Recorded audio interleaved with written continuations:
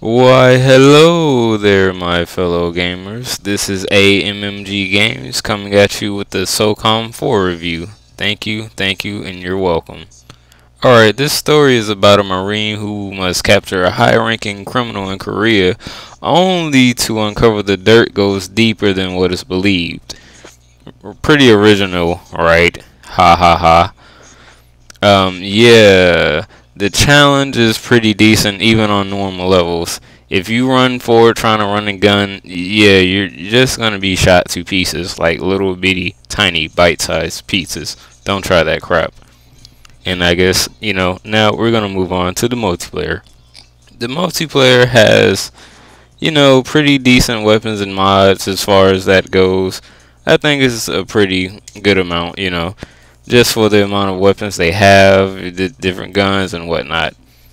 It also feels a lot more balanced in the sense that, you know, the weapons are what they are meant to be. Sniper rifles are sniper rifles, SMGs are SMGs, and assault rifles and machine guns are what they are. They do what they need to do for whatever range and, you know, whatever situation. I do think that the turning sensitivity could be tweaked a little because if someone's like aiming at you down the scope, all you really have to do is run past them and shoot them from behind, and they're pretty much through. Yeah, need to work on that SOCOM. Sorry, PSN. Alright, the game also offers some 5-player multi along, of course, with the online multiplayer.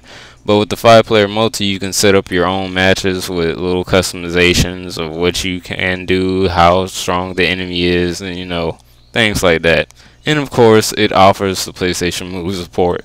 Duh, okay, it's kind of advertised on the box. I probably really didn't even say that. Whatever. Moving on. I think the graphics offer a bit of a fresh feel as far as like a lot of these shooters are coming out with like these gritty graphics and trying to be all deep and dark and whatnot.